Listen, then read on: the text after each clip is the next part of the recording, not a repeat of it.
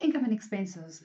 We generally feel that we're comfortable with what this is stuff that comes into our business, the money that we make from selling goods, from rendering services, from doing things for people and charging them, versus the expenses that go out. But the financials and the financial reporting standards, your IFRS, requires a little bit more from us, and we've got to make sure that we understand exactly what this is.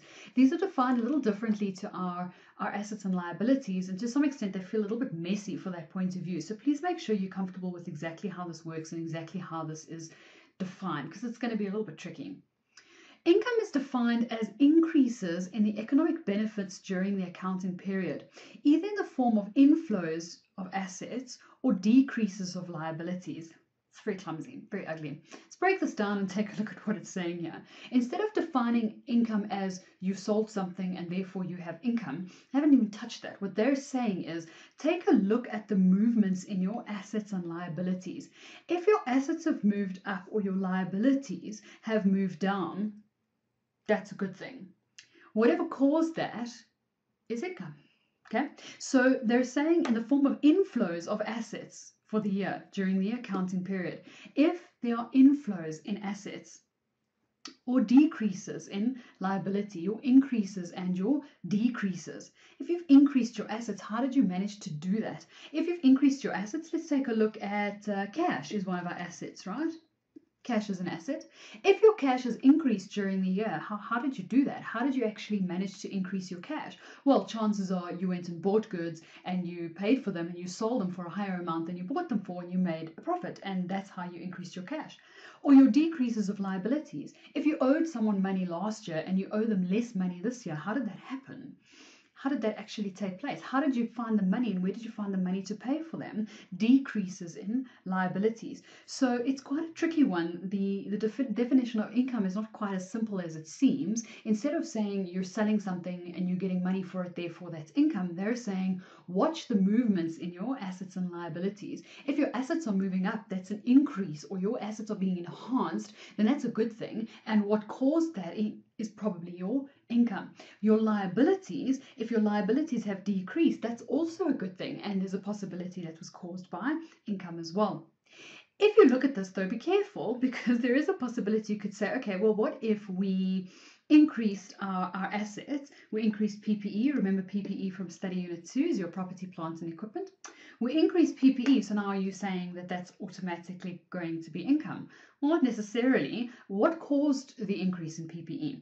If the increase in PPE was caused by you taking out a loan from the bank to go and buy that, that means that your liabilities increased as well, which means they both moved in the same direction, which means your asset wasn't caused by anything other than an increase in liabilities. So this one is a little bit tricky, and we've got to be careful practically that we can see this. So just think about this again.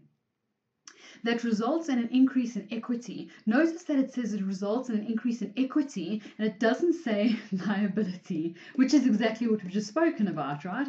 Your PPE, if your PPE results in an increase in liability, then it's not income. You just took out a loan to buy machinery. So that would not be classified as income. They're saying take a look at your enhancements of assets that cause an increase in equity, not liability. And we'll explain exactly that relationship now. And this doesn't include equity increases from capital contributions. Capital contributions or equity contributions is where the owners of the business invest more money in the company. That's not income, that's an investment from the owner. Income is not something where the owner is saying, I'm just going to continually put money in the business because that's not going to be income for the business. So that's a little bit messy. Work through it a little bit slower, make sure that you're comfortable with it. But basically, what we're saying is if you've increased assets through the year, and you've done so in a way that hasn't created any more liabilities, then the difference between your assets at the beginning of the year and the end of the year must be income. As long as that enhancement or that increase in asset hasn't touched your liabilities and hasn't increased your liabilities. Again, we'll take a look at a practical example just now. Expenses is exactly the opposite. So expenses they define as decreases in economic benefits during the accounting period will be in the form of outflows or depletions of assets. So your assets are moving down or increases of liabilities. The amount of money that you owe is increasing that results in a decrease in equity. So here we can say um, in terms of your your PPE decreasing maybe or your cash decreasing because remember different types of assets So our assets might be decreasing. Let's say our cash decreases. Why would it be decreasing? Well, because I've taken money out of the bank. Uh, what have I taken that money out the bank for? If I took that money out the bank, cash out the bank, to buy PPE, then that means that I have decreased assets and increased assets at the same time, which means it's a net effect of zero and it doesn't touch equity. So we need to be careful about that. I might take PPE out and I might decrease PPE, increase my liabilities. Again, be careful about the relationship here between your assets, your liabilities, and your equity. And you'll notice that it always comes back to our basic accounting equation. A little bit ugly, but make sure you get comfortable with it. And we'll get to an example quite soon so we can be quite comfortable with this. Your profit and equity is going to be an important one. Your profit and the relationship between your profit and your equity, very, very, very important. So let's take a look at this. Your profit or your loss is going to be the difference between your income and your expenses. So income minus expenses equals profit. If we take a look at all the increases in assets or decreases in liabilities that result in an increase in equity, and our expenses, which was all the decreases in our assets and the increases in liabilities that decreased equity, follow that through, gives us our profit. So what you know about profit, income minus expenses equals profit. And if expenses are more than income, then you will make a loss. So you either have a profit or a loss. The question now is how does that impact your equity?